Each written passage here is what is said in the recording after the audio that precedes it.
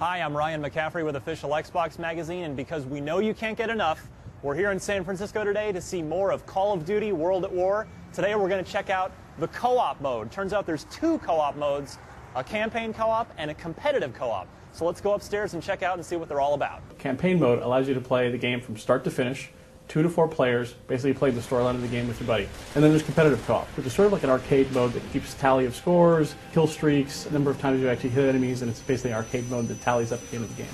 What's unique about both modes is they actually tie into multiplayer in terms of XP. So very much in Call of Duty 4, where a lot of people grinded for XP, you can actually do this in co-op as well. So if you're a little hesitant to go into multiplayer right away and want to rank up, you can actually earn XP in co-op mode, earn you know, sufficient XP to then transfer over to multiplayer, get to sort of create a class, unlock those classes, have more weapons, more sort of uh, types of classes that you can then use within multiplayer.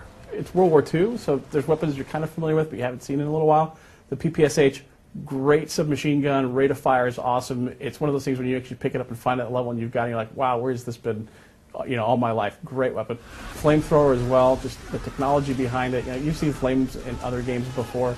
This is the first one where you actually are shooting this weapon and it just feels so powerful and so awesome. And not only are you actually getting ready, you know, destroying your enemies around you, but everything within the environment is just kind of lighting on fire, particle effects, cinders on everything, and it's either you know if it's combustible like you know some grass or anything like that. It's just you're like wow, this is like a very all powerful weapon.